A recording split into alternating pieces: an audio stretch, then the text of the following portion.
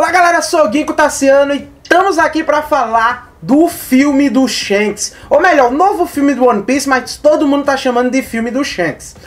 Uh, o Evandrão já gravou vídeo sobre, o Brunão já gravou muitos vídeos sobre, o trabalho do Brunão tá muito ativo. Uh, os Chapéus de Palha, acredito, também já gravaram. Então tem muita notícia sobre esse filme aí, já tem os detalhes desse filme aí. O que eu vou trazer nesse vídeo é passar por cima desses detalhes, dizer o que eu acho e sim, galera, eu muito louco vou tentar prever o plot, a narrativa, quem é o vilão, como é que vai ser. Eu vou praticamente dizer passo a passo do filme do Shanks aqui. Já vou lhe dizendo que eu tenho total ciência que teorias elas partem da dedutibilidade da, da parte dedutiva, que através das pistas a gente vai deduzindo, e muitos na fandom usam fanfics e achismos como teorias, chamando também de teorias. O que eu vou fazer nesse vídeo é sim coletar alguns dados. Porém, tudo que eu construir aqui, tudo que eu disser, o filme vai ser assim, acredito que esse será o plot e esse será o inimigo, todos esses dados é meio que uma fanficagem da minha cabeça com base na proposta que a gente tem do Shanks ser incluído na obra. E essa viagem minha terá muito poucos dados. Será completamente tirado da bunda esse modelo de filme que eu vou ditar aqui para vocês, beleza? Então quer eu acerte, quer eu erre, o importante é a gente brincar de construir o roteiro com o pouco que temos até agora. Então vamos lá, galera. Temos o trailer do filme aqui. Eu vou compartilhar com vocês. Deixa eu compartilhar minha tela. Aqui, galera. Compartilhando minha tela. Uh, já assisti, vou assistir de novo, vou discorrer, vou é, falar passo a passo. Mas para quem não sabe, eu também tô com a, a, parte da One Piece X. Deixa eu compartilhar aqui a parte da One Piece X. One Piece X trouxe muitas informações sobre o filme. Ela já fez um, um apanhado geral. E eu vou dar umas, umas descrenças aqui, umas desambiguações e crenças. Porque a gente sabe, é a logo do filme que tem o cortezinho no D. Uh, então todo mundo assemelhou ao Shanks. Sim, o Shanks eu chamo de Shanks. Então, uh, aqui temos uma figura feminina. E eu já vou meter na moral, galera. Uh, se não fosse o Shanks aparecendo no finalzinho do trailer, eu diria que esse filme aqui não teria nada a ver com o Shanks. Ou melhor, eu já adianto que esse filme aqui, por mais que a propaganda seja em volta do Shanks, vamos ter muito pouco do Shanks nesse filme, quase nada. Já adianto que não é que o filme é sobre o Shanks, e sim que o filme vai se ligar ao Shanks, vai ter alguma, algum babado, vai ser levantada alguma conexão pro plot, e não para nos alimentarmos sobre o passado do Ruivo. Essa já é minha primeira impressão sobre o filme Red. E já vou desmistificando aqui que não. Essa mulher aqui, eu, eu tenho uma imagem melhor dela, vou botando aí na tela. Essa mulher aí, ela não será a vilã do filme. Eu duvido muito que ela não que, ela será a vilã do filme. A galera tá se prendendo aqui e uma frase que o Oda fala, que é a cartinha do Oda, ó. Estamos fazendo um filme, Red. Cansei de desenhar velhos lendários. Deixe-me desenhar uma personagem feminina. Aí a galera tá achando que o novo vilão do, do filme é uma personagem feminina. E não é. Eu duvido ser.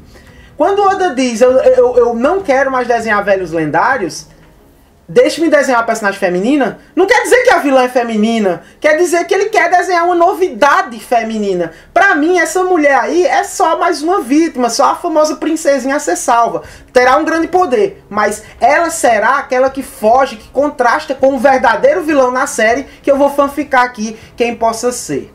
Uh, então sim, é, nesses filmes com participação do Oda, é dito que esse filme aqui tá pronto há dois anos e a galera ficava perguntando coisa ao Oda, consultando o Oda. Embora o Oda se autoproclame supervisor aqui os postos dele desse filme, grande parte desse filme foi montado pelo roteiro de uma pessoa e é a pessoa que, cadê, que fez esse especial aqui. Esse especial aqui eu já assisti, é o OVA 1 e esse ovo aqui traz um homem com um braço de caranguejo. Ele é bem legalzinho, mas nada demais. Uh, eu acredito fortemente que a participação do Oda desse filme é, é, é só um carimbo para dizer, ó, filler de luxo. Eu vou ver, ver assimilar algumas coisas aí que me perguntaram, vou dar informações de algumas coisas aí mas não sou eu que estou fazendo esse filme. Então já bota na sua cabeça que não é o Oda que fez esse filme. Então a galera não pode contar a história do Shanks se o Oda não mostrou a história do Shanks. Eles podem perguntar elementos que não se destruam com a narrativa filler que eles criaram. E o Oda dá esses elementos. Assim eles podem criar uma ponte do filme com o Shanks mas sem deturpar, sem é, se intrometer na história, na narrativa do nosso imperador que ainda vai ser colocado na obra de forma canon. E isso vai ser no mangá. Sobre essa aqui ser a princesinha, galera, é lógico, né? Ó, no filme Z eu não me lembro de ter alguma princesinha. Para mim não teve princesinha no filme Z. No filme Strong World, a, a, sequestrada da vez é a Nami, a mulher indefesa é a Nami, ou seja, não acrescentaram a personagem feminina nova. No Gold, do Gold Tesouro, tem até uma personagem feminina ali, só que ela faz uma sinergia com a Nami. Então meio que que eu não conto assim como uma princesinha, como uma protagonista, como é que chama no japonês? A heroína principal do filme ou da série. Eu não conto a personagem que aparece no Gold como isso. E o último foi o Stamped. Esse aqui não teve princesa mesmo, teve tudo, menos, menos princesinha. Então, pra mim, quando o Oda diz vou desenhar a personagem feminina, no lugar de velho lendário, é porque ele quer colocar aí uma personalidade feminina é uma personagem feminina de personalidade forte e que será a contra-antagônica da vez. Ela que irá é, sofrer as sequelas do vilão e o Luffy chegará para salvá-la ou juntar forças com ela. Beleza? Essa é a minha primeira, meu primeiro apontamento. Bom, já falei para vocês cortarem a esperança de não ter tanto Shanks nesse filme. Também falei que essa, esse Red aqui pode não significar nada para com o Shanks. Não imagino, não imagino eles contando a história do Shanks nesse filme, sim uma ponte. Para você entender melhor, vamos discorrer disso agora, enquanto eu assisto o trailer com vocês. O trailer não, o taser. Já tá aqui, galera. E eu já vou lhe dizendo, galera, esse taser aqui de 30 segundos, as informações que a gente tem nele para montar alguma coisa, esse taser em si, ele não é um trailer, né? Eu não sei se o nome aqui diz trailer, se diz tá errado. É um taser. Taser trailer é um taser. É só a chamada, é só o, um cartaz. O trailer mesmo já é com cenas do filme.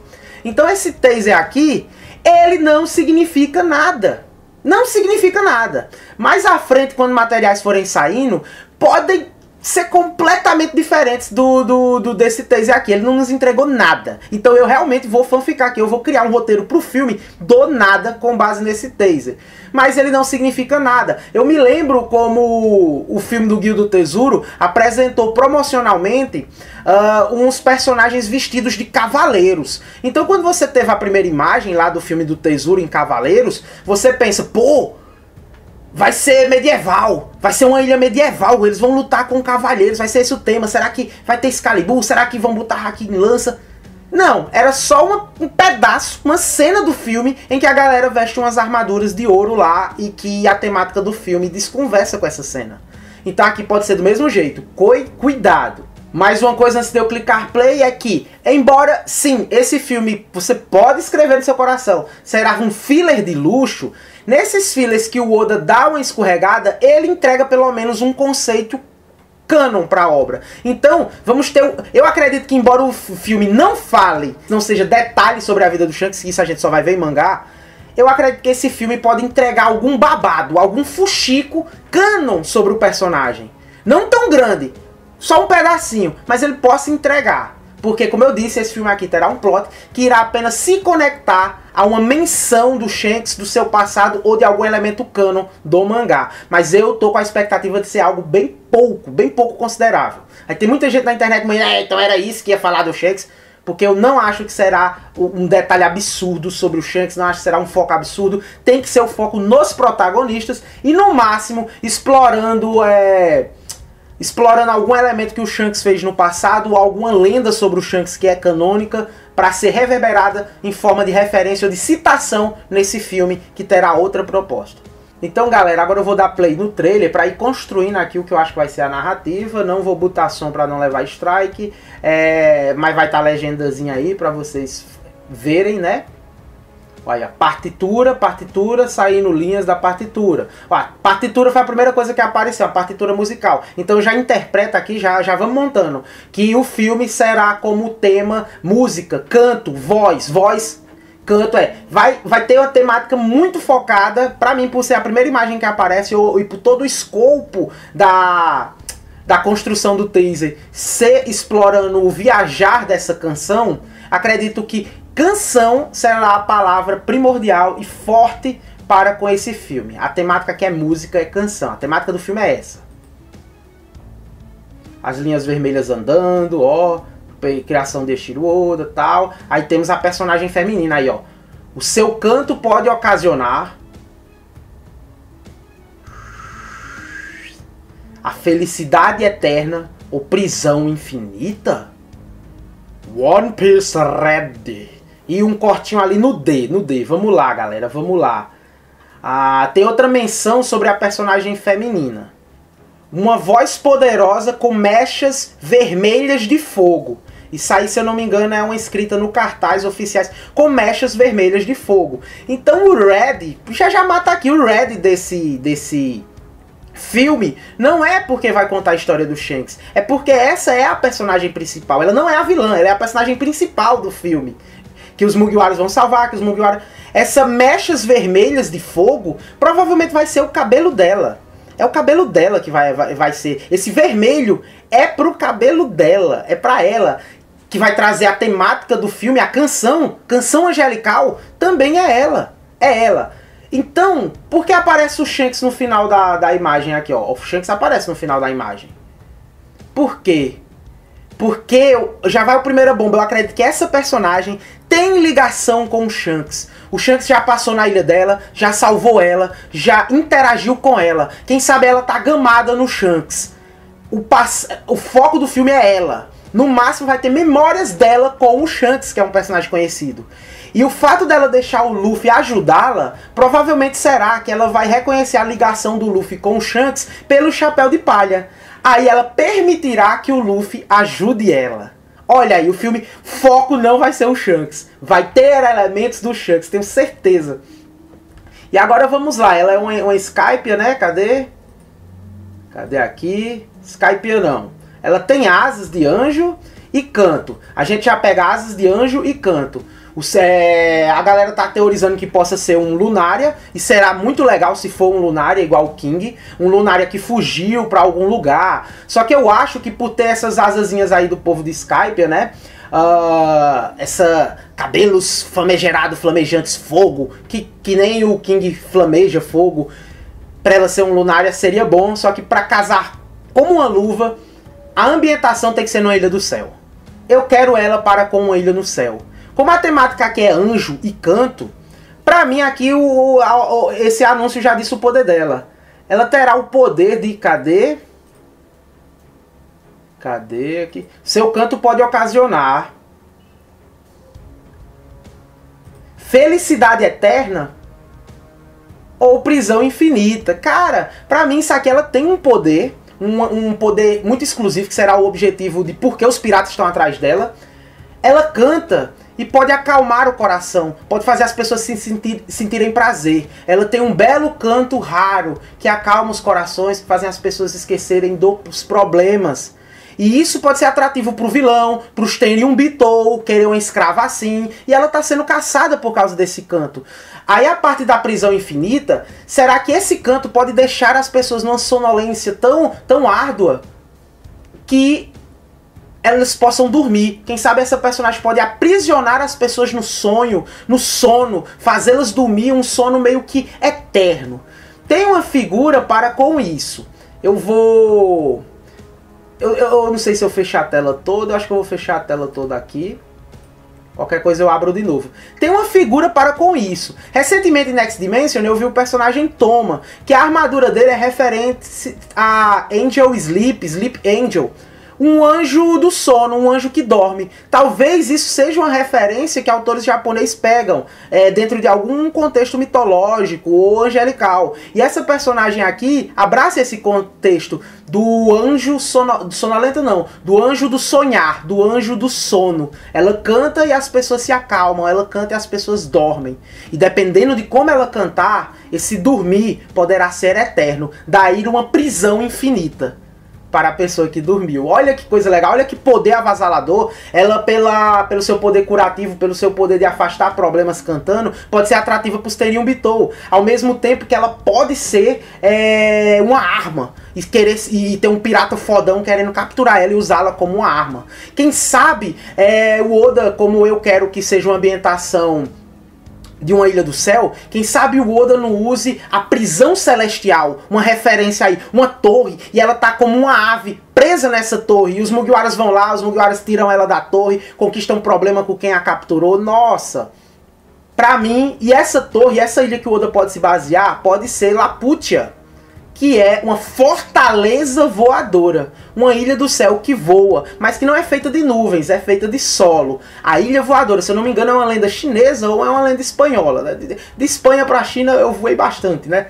Mas se eu não me engano é isso. Eu sei que é espanhol pelo nome, mas eu vejo mais referências à China. Eu acho que a China também tem uma lenda de fortaleza voadora. Uma ilha do céu que flutua, chamado Laputia eu acho que pode ser usado de referência aqui para ser o lugar dela ou a prisão dela sendo mantida por algum pirata. Então é isso, galera. Os Mugiwaras encontram ela, libertam ela, ela tem conexão com o Shanks. O Shanks pode ter salvado ela no passado, pode ter escutado ela cantar. Ela tem um forte poder que interessa aos vilões. O Luffy vai proteger ela, vai caminhar com ela. E é isso. Aqui já temos o plot. Então, o pega pra capar é, contra ela tem que ser um vilão fodão. Então eu acho que o Red, se não for associado a ela, eu acho que Red é o nome do vilão. E baixando um pouco a criatividade da pessoa que não é o Oda, que não foi o Oda que criou isso, eu acho que essa pessoa também tem uma cicatriz espelhativa à cicatriz do Shanks. E se a gente for alimentar esse personagem fictício da minha cabeça chamado Red de de um pirata lendário, o Oda disse, não quero mais desenhar pirata lendário, desenhar uma mulher. Pronto, mas agora que ele desenhou uma mulher, ele pode botar um vilão top no filme, porque o filme tem que ter vilão top. Esse filme provavelmente vai se passar depois de um ano, então depois do Luffy enfrentar Kaido, tem que ser um monstro. Que monstro será esse, esse tal de Red? Quem sabe possa ser o antigo imperador que o Ruivo derrotou para se tornar imperador. O Shanks derrotou um cara, acabou com a vida dele, e se tornou imperador. E esse cara vaga o mundo procurando a voz dessa personagem para usar como arma para recuperar o seu trono de Yonkou. Diga aí o poder de cantar e fazer todo mundo dormir e se aprisionar para sempre nos sonhos.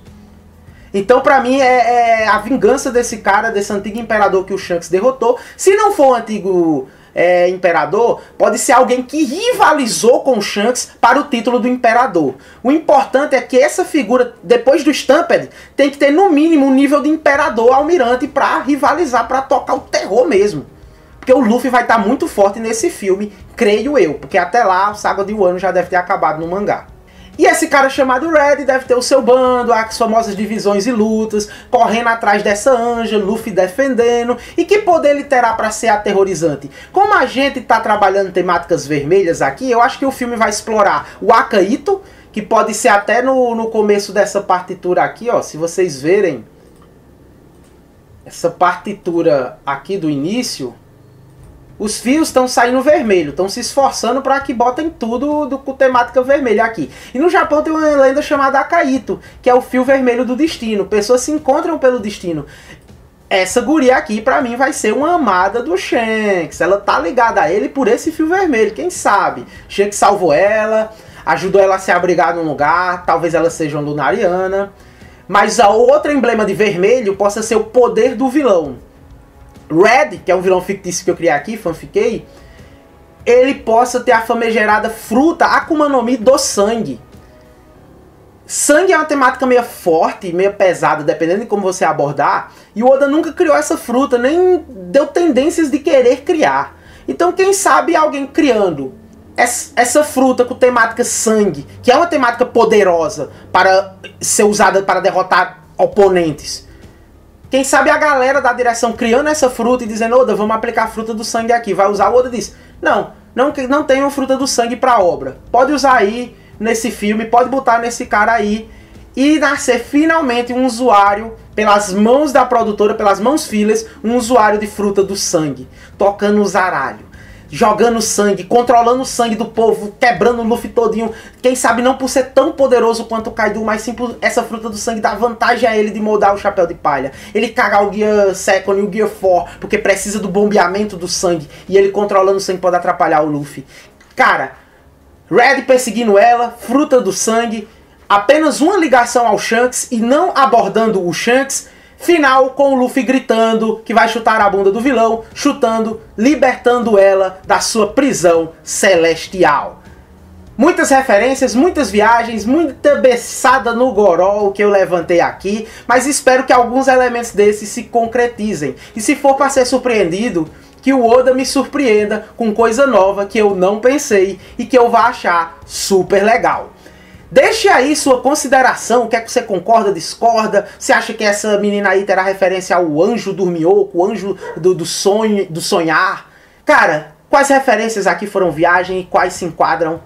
E vamos ver no filme. Diga aí nos comentários, junto com a sua opinião e a sua teoria para esse filmaço. Quem sabe seja um filmaço. Tô ficando por aqui, galera. Espero que tenham gostado. Deixa eu interromper a transmissão. Um forte abraço a todos vocês e em agosto a gente descobre se esse filme será top mesmo. Forte abraço e valeu!